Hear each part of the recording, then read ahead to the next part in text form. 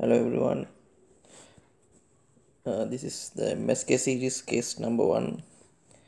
Uh, this is a 18 year old male patient presented with right knee joint pain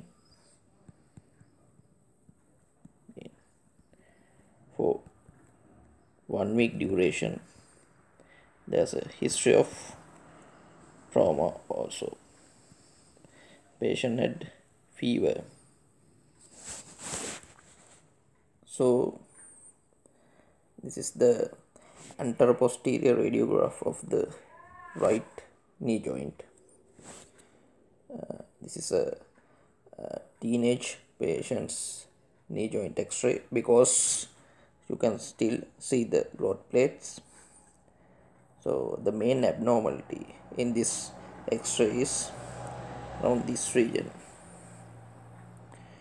Right. you can see a well defined fairly rounded lytic lesion with sclerotic margins in the upper tibial metaphyseal region. So you can see the sclerotic margins here. Right. And it is well defined uh, you can see a lucency around this region the lateral aspect of the upper tibia slightly a fracture healing fracture. So uh, uh, the the the this lesions has a narrow zone of transition. It's an important feature narrow zone narrow zone of transition. So it's a, a feature of a benign lesion.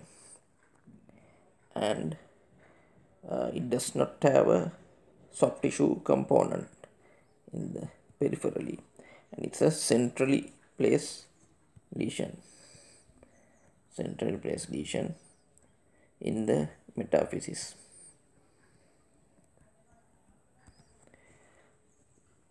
it does not extend to the epiphysis and the knee joint is normal. The articular surface of the knee joint is also normal. There is no periosteal reaction.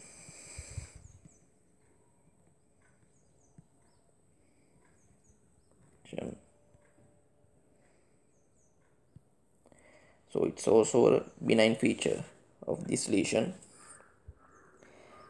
And uh, there are no synchronous lesions.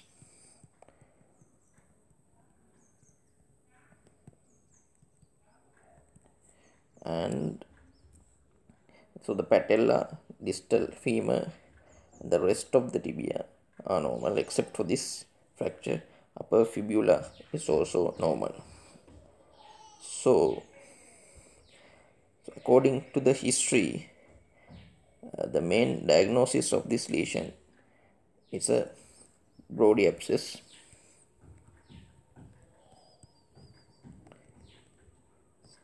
Secondary to osteomyelitis. Second to osteomyelitis. You can't see any uh, involucrum or sequestrum. Uh, in this x-ray sequestrum means a separation of the bone involucrum is new bone formation. So those features you can't see in this x-ray. So the differential diagnosis are if it's a centrally located one uh, simple bone cyst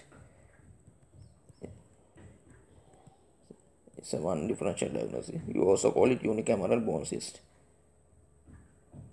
Unicameral bone cyst uh, if it's a eccentric one non-ossifying fibroma is a differential diagnosis. So that ends the first case. So please uh, subscribe our youtube channel. Then you can get uh, notifications uh, about our youtube videos. And uh, you are welcome for any comments of our videos uh, thank you